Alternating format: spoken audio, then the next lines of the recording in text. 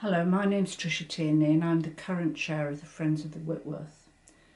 I want to talk about the first minutes book of the Friends of the Whitworth Institute, as the gallery was then called. The book starts with the founding of the Friends in Sir Thomas Barlow's house in November um, 1933 and covers the period up until the Second World War. It lists the members um, every year for the for that period, uh, including uh, the Pilkingtons, who are very prominent amongst the membership, and we'll be talking more about them later.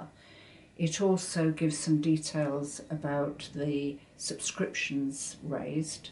Uh, for instance, in the first year, the sum total was £115, so not a, a vast amount, but perhaps more interesting than that is the, the, the works donated by these members to the gallery. Uh, this include, these include works by Alexander Cozens, many of which appeared in the Cozens and Cozens exhibition, which we saw on the gallery walls, um, and but also Pablo Picasso, Constable, uh, Toulouse-Lautrec, and many others.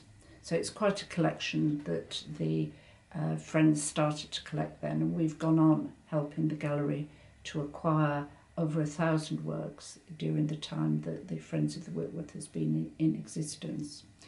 The, it seems from the from the uh, minutes book that the friends only met once a year, so we're not able to gather from it a very detailed picture of what their activities looked like. I'm gathering that they didn't have a Tuesday team beavering away in the gallery every week putting together a programme of events. But the uh, 1936 minutes do tell us that the Friends have been granted the privilege of coming into the gallery on Sunday afternoons in winter on presentation of their membership cards and they were very pleased with that um, new development. Then in the 1939 minutes, rather sadly, just before, just as the war started to take effect, they record that it would be very nice to be able to organise uh, visits to houses and other places of interest and to put on concerts in the gallery. Uh, and of course this never came about because the war then became much more um, a feature of life and, and took over life, um, certainly in Manchester. Uh, so when we now organise our programmes and um, or hold our Sunday concerts, I like to think that what we're doing is fulfilling the dreams of the original Friends of the Whitworth